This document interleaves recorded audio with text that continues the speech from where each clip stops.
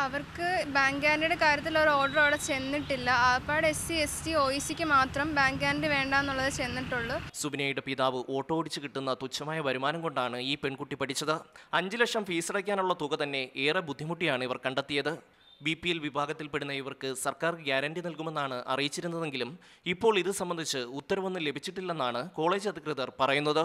തിങ്കളാഴ്ചയാണ് അവിടെ ജോയിൻ ചെയ്ത് ക്ലാസ് തുടങ്ങുന്നത്. അതിനു മുമ്പ് ബാങ്ക് ഗ്യാരണ്ടി ആയിട്ടാണ് ഹാജരാവേണ്ടത് ബി പി എൽ വിഭാഗത്തിനെ ബാങ്ക് ഗ്യാരണ്ടിയിൽ നിന്ന് ഒഴിവാക്കിയതായി അറിയിപ്പ് ലഭിച്ചിട്ടില്ലെന്ന് മലബാർ മെഡിക്കൽ കോളേജ് അധികൃതർ പറയുന്നു.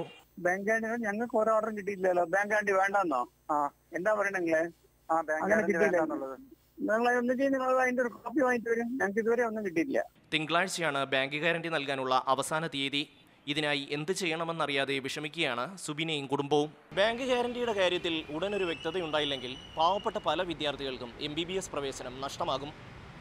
ഷമ്മി പ്രഭാകർ മാതൃഭൂമി ന്യൂസ് കൊല്ലം.